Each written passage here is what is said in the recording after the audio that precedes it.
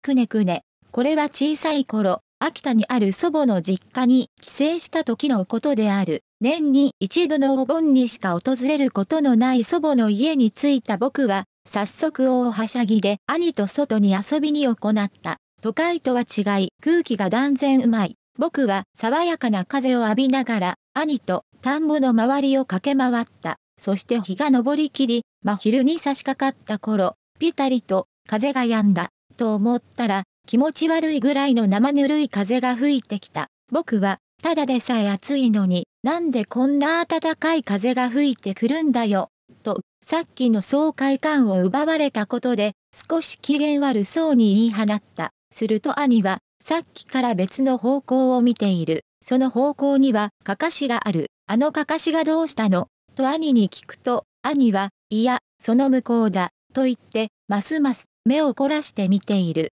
僕も気になり、田んぼのずっと向こうをじーっと見た。すると、確かに見える。なんだあれは、遠くからだからよくわからないが、人ぐらいの大きさの白い物体が、くねくねと動いている。しかも、周りには田んぼがあるだけ、近くに人がいるわけでもない。僕は一瞬奇妙に感じたが、ひとまずこう解釈した。あれ新種のかかしじゃない？きっと、今まで動くかかしなんかなかったから、農家の人か誰かが考えたんだ。多分さっきから吹いている風で動いてるんだよ。兄は僕のズバリ的確な解釈に納得した表情だったが、その表情は一瞬で消えた。風がピタリと止んだのだ。しかし、例の白い物体は相変わらずくねくねと動いている。兄は、おいまだ動いてるぞあれは一体何なんだ。と驚いた口調でい気になってしょうがなかったのか、兄は家に戻り、双眼鏡を持って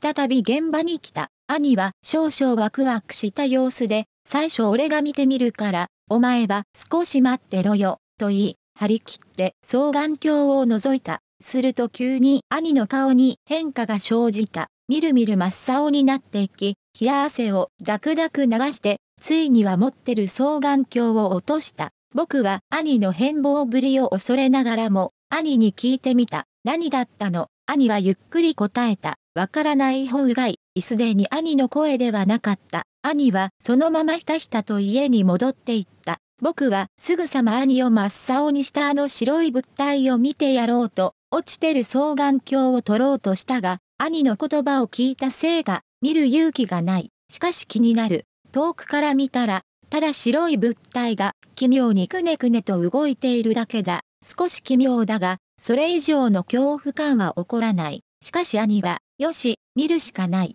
どんなものが兄に恐怖を与えたのか、自分の目で確かめてやる。僕は落ちている双眼鏡を取って覗こうとした。その時、祖父がすごい焦った様子でこっちに走ってきた。僕が、どうしたの？と尋ねる前に、すごい勢いで祖父が、あの白い物体を見てはならん。見たのか、お前、その双眼鏡で見たのか、と迫ってきた。僕は、いやまだ、と少し挙動った感じで答えたら、祖父は、よかった、と言い、安心した様子でその場に泣き崩れた。僕はわけのわからないまま家に戻された。帰ると、みんな泣いている。僕のことで、いや、違う。よく見ると、兄だけ狂ったように笑いながら、まるであの白い物体のようにくねくね、くねくねと乱舞している。僕はその兄の姿に、あの白い物体よりもすごい恐怖感を覚えた。そして家に帰る日、祖母がこう言った。兄はここに置いといた方が暮らしやすいだろう。あっちだと狭いし、世間のことを考えたら、数日も持たん、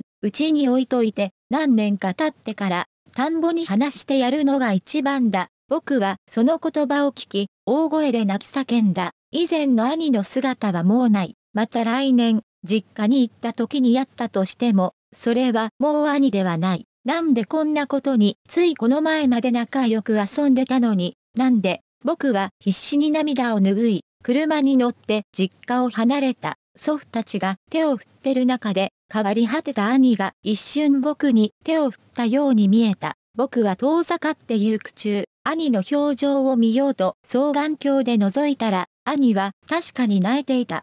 表情は笑っていたが、今まで兄が一度も見せなかったような、最初で最後の悲しい笑顔だった。そして角を曲がった時にはもう兄の姿は見えなくなったが、僕は涙を流しながらずっと双眼鏡を覗き続けた。いつか元に戻るよ、寝そう思って兄の元の姿を懐かしみながら緑が一面に広がる田んぼを見晴らしていた。兄との思い出を回想しながら、ただ双眼鏡を覗いていた。その時だった。見てはいけないと分かっているものを間近で見てしまったのだ。くねくねくねくねくねくねくねくね。